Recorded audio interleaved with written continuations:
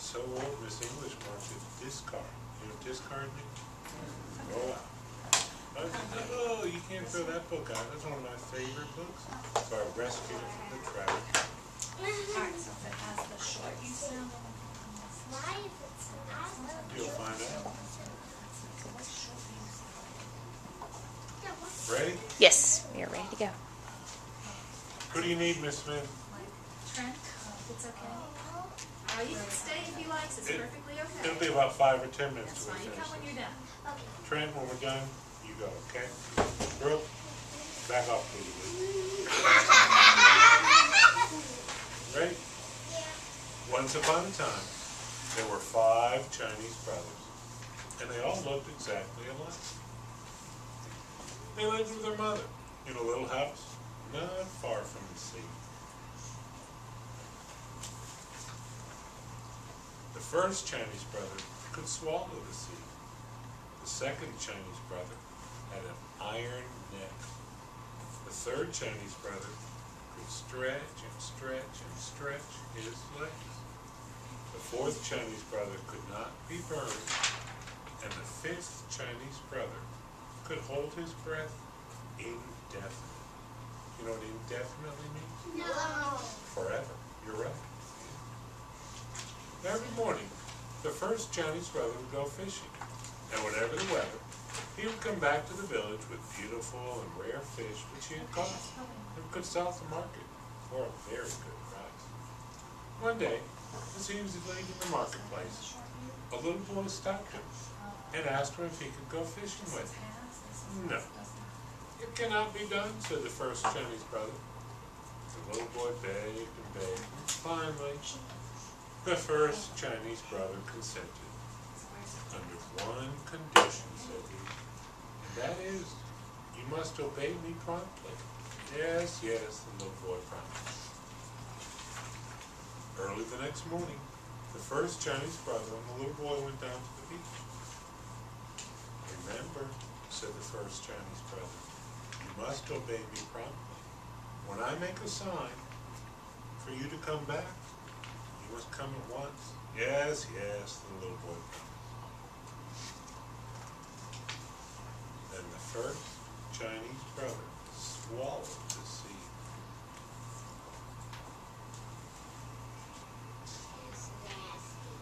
And all the fish were left high and dry at the bottom of the sea. And all the treasures of the sea lay uncovered. The little boy was delighted. He ran here and there, stuffing his pockets with strange pebbles, extraordinary shells, fantastic algae. What is algae? Algae is sort of like a kind of plant that grows on, sort of, you would think of it, well, it would be like seaweed. fish eye? No, not well. These fish, they will eventually, but you'll find out what happens.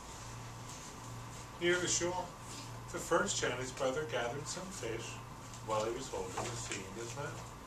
Presently he grew tired. It is very hard to hold in the sea. So he made a sign with his hand for the little boy to come back. The little boy saw him. and Paid no attention.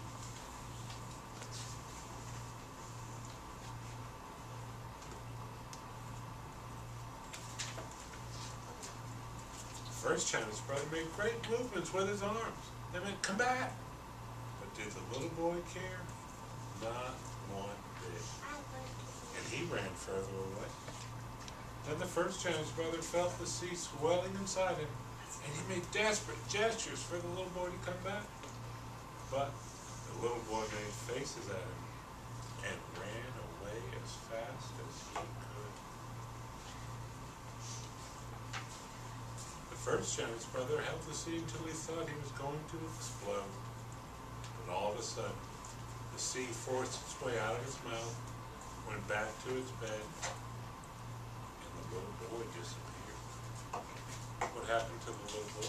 You he ran away. Who? What happened to the little boy when the sea went back to its bed? How did he die? But but how did he die? What happened? drowned. He drowned. Yeah. When the first Chinese brother returned to the village, alone, he was arrested, put in prison, tried, condemned to have his head cut off. On the morning of the execution, he said to the judge, Your Honor, will you allow me to go and bid my mother goodbye? It is only fair, said the judge.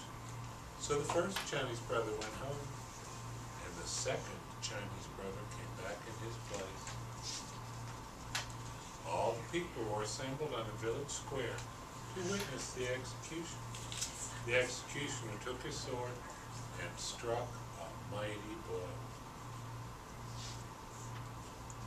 But the second Chinese brother got up and smiled. He was the one with the iron neck, and they simply could not cut his head off. Everybody was angry, and they decided that he should be drowned. On the morning of the execution, the second Chinese brother said to the judge, Your Honor, will you allow me to go and bid my mother goodbye? It is only fair, said the judge. So the second Chinese brother went home, and the third Chinese brother came back to his place. He was pushed on a boat, which made out far, far on the open sea. When they were out in the ocean, the third Chinese brother thrown overboard. Wait a second, what is back there? But he began to stretch and stretch and stretch his legs way down to the bottom of the sea. And all the time, can he do that forever? Let's find out. And all the time, his smiling face was bobbing up and down on the crest of the waves. He simply could not be drowned. Everybody was very angry, and they all decided that he should be burned.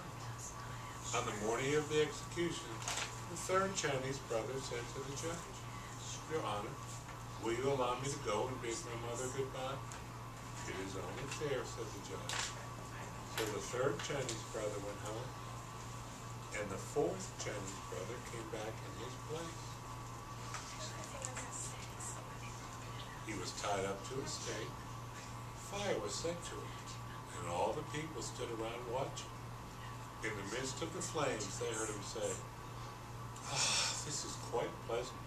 Bring more wood, the people cried. The fire roared higher. Ah, now I'm very comfortable, said the fourth Chinese brother, for he was the one who should not be burned. Everybody was getting more and more angry every minute, they decided to smother her. What does smother mean? You can't breathe. When you smother something, they can't breathe.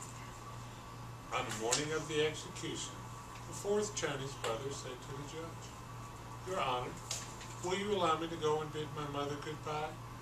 It is only fair, said the judge. So the fourth Chinese brother went home, and the fifth Chinese brother came back in his place. A large brick oven had been built on the village square, and it had all been stuffed with whipped cream. The fifth Chinese brother was shoveled into the oven, right in the middle of the cream. The door was shut tight, and everybody sat around and waited this time. They were not going to be tricked again. So they stayed there all night, and even a little after dawn, just to make sure. Then they opened the door and pulled him out. And he shook himself and said, Oh, that was a good sleep. Everybody stared open-mouthed and round-eyed. But the judge stepped forward and said, We have tried to get rid of you every possible way, and somehow it cannot be done. It must be that you truly are innocent. Yes, shouted all the people, yes. So they let him go, and he went home. And the five Chinese brothers and their mother all lived together happily for many years. The end. Wait, I thought it was four. There's five. Um, why, I don't, still don't get why their faces are yellow. That's just the way the artist decided to do. He only used yellow, black, and white. That's all he wanted. That's all he needed.